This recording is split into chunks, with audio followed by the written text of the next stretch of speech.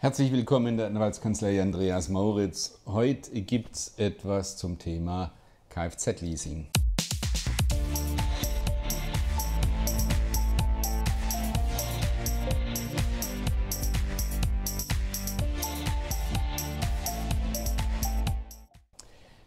Die Krise der Automobilindustrie ist in aller Munde. Von daher ist zu erwarten, dass die Automobilindustrie bzw. die Autohäuser wieder versuchen werden, natürlich die Anmeldezahlen nach oben zu pushen. Und was liegt näher, als wieder günstige Leasingangebote auf den Markt zu werfen. Verlockendes Angebot, schönes Auto, nagelneues Auto für schmale Münze, kleine Anzahlung, Schlusszahlung am Ende und ist doch alles super. Das Problem ist, dass des Öfteren, zumindest meine Erfahrung, das dicke Ende dann ganz am Schluss kommt, wenn man das Kraftfahrzeug nämlich zurückgibt. Und warum? Naja, grundsätzlich ist es natürlich so, ich lease das Fahrzeug und ich muss es, was ich vorher schon gesagt habe, natürlich irgendwann zurückgeben. Die Leasinggesellschaft hat natürlich im Kopf sich überlegt, was mache ich mit dem Fahrzeug und wird das Fahrzeug dann irgendwo auf dem freien Markt regelmäßig veräußern wollen. Und wenn dieses Fahrzeug dann nicht mehr ganz so gut aussieht wie am Anfang, was bei einer Nutzung naturgemäß der Fall ist und auch nicht den Erwartungen entspricht, den der Leasinggeber gehabt hat, dann, und, ähm, ja, wie soll ich das sagen, dann gibt es ein paar Begehrlichkeiten und die Begehrlichkeiten sind, dass ich letztendlich jede Macke und jeden Schaden dem Leasingnehmer, also dem Nutzer, in Rechnung stelle und letztendlich sage, naja, da muss ich Ausbesserungsarbeiten machen, da muss ich eine kleinere Reparatur machen, da brauche ich vielleicht neue Räder und so weiter. Das ist eine sogenannte übervertragsmäßige Abnutzung und die stelle ich dir in Rechnung mit der Konsequenz, dass ich faktisch wieder Neuwagen habe. Und wenn man da nicht aufpasst, dann macht man einfach ein paar Fehler, lässt sich zu bestimmten Dingen hinreißen. Ähm, mit den Konsequenzen, dass man dann auch tatsächlich bezahlen muss. Also das Erste ist mal, wenn man den Leasingvertrag abschließt, dann kann ich nur die dringende Empfehlung schon mal abgeben, a, den Leasingvertrag durchzulesen, das sollte man sowieso immer tun, aber auch mal konkret definieren, was ist denn die vertragsgemäße Nutzung. Wenn man jetzt ein Kleingewerbe zum Beispiel hat oder gern in die Berge fährt, dann sollte man das in den Leasingvertrag aufnehmen. Wenn ich nämlich ein Kleingewerbe habe und bestimmte Dinge hin und her transportiere, ich liefere PCs zum Beispiel aus.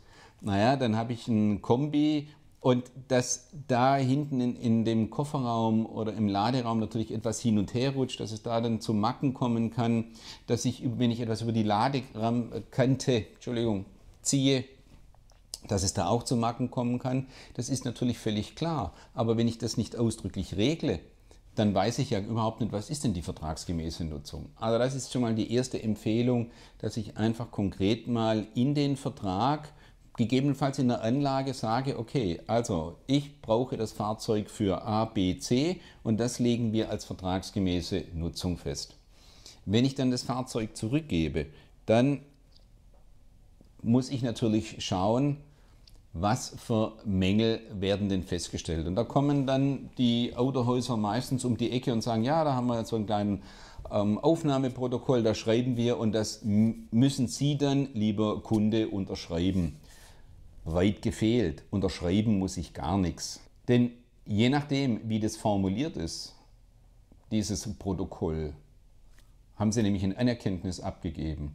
Und dann können Sie hinterher nicht mehr sagen, ja, aber das stimmt ja gar nicht oder das war so und so, sondern dann haben sie ein Anerkenntnis abgegeben, von dem sie nur sehr schwierig wegkommen, gelingt immer mal wieder, aber da sind sie natürlich schon ein bisschen auf das Wohlwollen des Gerichts angewiesen. Also von daher, Sie müssen dieses Abnahmeübergabeprotokoll nicht unterschreiben. Wenn Sie es unterschreiben, dann schauen Sie bitte sehr sorgfältig, ob da irgendwie drin steht, ich akzeptiere die Mängel, ich übernehme die Haftung für diese Mängel oder Schäden oder irgendwas, dann streichen Sie das raus. Denn Sie müssen es ja nicht unterschreiben. Also, wenn Sie es trotzdem unterschreiben, dann sind Sie natürlich jederzeit in der Lage, bestimmte Veränderungen vorzunehmen. Und was dann ganz arg wichtig ist, die Kopie, also die Durchschrift von diesem Exemplar, lassen Sie sich auf alle Fälle geben. Ähm, das nächste ist natürlich, dass man überhaupt nicht für alle Mängel, Schäden, wie man es auch immer nennen will, haften muss. Die Rechtsprechung hat dann nämlich einen sehr detaillierten ähm, Katalog entwickelt und in diesem Katalog sagt die Rechtsprechung nämlich, naja, was ist denn Leasing? Leasing ist faktisch nichts anderes als eine Miete. Ich bezahle die Leasingrate ja nicht nur, damit ich das Auto anschaue und dass es mit, mit in einer Garage steht, sondern ich bezahle, damit ich es nutze. Und wir wissen alle im Straßenverkehr, wie es da zugeht. Ähm, ich gehe mit meinem Fahrzeug zum Einkaufen. Ich stelle mein Fahrzeug auch exakt zwischen die Striche, die den Parkplatz kennzeichnen. Ich komme zurück und habe irgendeine Macke drin. Das ist typischerweise etwas, was mit den Leasinggebühren, besser formuliert mit den Leasingraten, natürlich mit abgegolten ist. Die Rechtsprechung sagt zum Beispiel, leichte Schrammen, Kratzer, Beulen gehören im Rahmen eines Leasingvertrags zur vertragsgemäßen Abnutzung und stellen keinen Schaden dar. Kratzer am Dach, an den Hauben, leichte Einbeulungen an Türen stellen ebenfalls eine vertragsgemäße Nutzung dar. Wir haben einfach engen ähm, Parkraum. Leichte Lackschäden, zum Beispiel hinten am Tankstutzen, sind typischerweise Mängelschäden, die mit der Leasingrate mit abgegolten sind. Steinschläge, insbesondere kennen wir alle Windschutzscheibe. Da kommen nämlich die Leasinggesellschaften meistens auf die Idee und sagen, ja, wir müssen die komplette Windschutzscheibe austauschen. Also erstens mal nein, ähm, und zweitens, das ist auch eben typischerweise etwas, was mit der Leasingrate abgegolten ist. Steinschläge, Schrammen am Stoßfänger, oberflächliche Lack- und Blechschäden, die bereits aufgrund geringer Berührungen eintreten können, sind keine übervertragliche Nutzung eines PKWs. Also wir haben eine ganze Latte an Rechtsprechung und zwar durch die ganze Bundesrepublik, die eben sagt, das sind gar keine Schäden, für die man einsteht. Und jetzt bin ich wieder beim Übernahmeprotokoll. Diese Schäden werden alle aufgelistet und dann steht hinten irgendein Preis. Und wenn ich diese Schäden natürlich akzeptiere, ja, dann habe ich das Problem, dass ich möglicherweise dafür gerade stehen muss. Das nächste sind die Reifen, auch ein ganz beliebtes Thema. Wenn im Leasingvertrag nicht konkret geregelt ist, mit welcher Bereifung, also Profilstärke, das Leasingfahrzeug zurückkommen muss, dann sind eben 1,6 mm immer noch in Ordnung, weil damit ist das Fahrzeug verkehrssicher. Dann kann, was sehr oft zu lesen ist im Gutachten, eben nicht die Leasinggesellschaft sagen, ja, das sind ja nur noch 1,6 mm Profiltiefe, ja, damit kann man ja nicht mehr lang fahren und deswegen ist ein Mangel und dann brauchen wir jetzt erstmal vier Reifen, am besten noch mit vier Felgen, weil die Felgen ja auch leicht verschrammt sind. Auch das wäre eben kein Mangel, für den man gerade zu stehen hat. Natürlich ist ganz klar, in meinem Leasingvertrag steht drin, ich muss selbstverständlich für eine Instandhaltung sorgen. Aber es geht ja um die Frage, was kann die Leasinggesellschaft als Schadensersatz letztendlich von mir verlangen. Und dann ist das nächste, was man auch wiederum sehr oft dann feststellt, also der Kunde weigert sich und sagt, ja, also das, was Sie da jetzt machen, das unterschreibe ich nicht.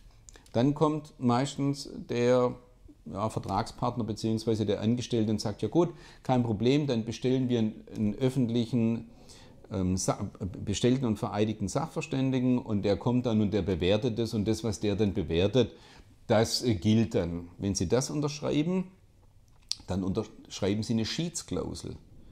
Dazu sind Sie auch nicht verpflichtet. Aber wenn Sie es abschließen, wie gesagt, ist eine Schiedsklausel und dann gilt natürlich das, was dieser öffentlich bestellte und vereidigte Sachverständige sagt.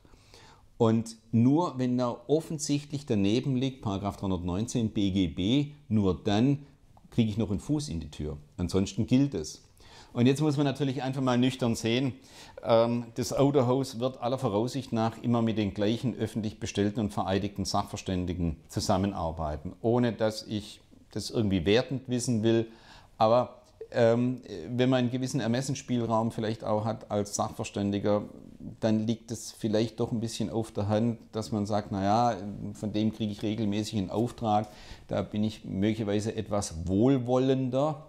Ähm, jedenfalls muss Ihnen eben auch klar sein, das ist nicht notwendig, dass Sie sich auf eine solche Schiedsklausel einlassen. Also wenn es bei der Rückgabe irgendwelche Probleme gibt, insbesondere wenn jedes Detail aufgelistet ist, so wie ich es gesagt habe, leichte Schramme, leichte Macke, Steinschlag und so weiter, ist die Empfehlung, lassen Sie sich vom Anwalt beraten. Dieses Geld ist mit Sicherheit gut angelegt, bevor Sie Hunderte oder manchmal sogar Tausende von Euros bezahlen müssen, damit das Kraftfahrzeug wieder so hergerichtet wird, wie wenn es ein Neuwagen gewesen wäre. Wenn Sie dazu noch irgendwelche Fragen haben, melden Sie sich. Unten sehen Sie ja eingeblendet Telekommunikationsdaten. Da kann man Ihnen dann mit Sicherheit auch weiterhelfen. Vielen Dank und beim Thema Kraftfahrzeug bleiben Sie sicher. Vielen Dank.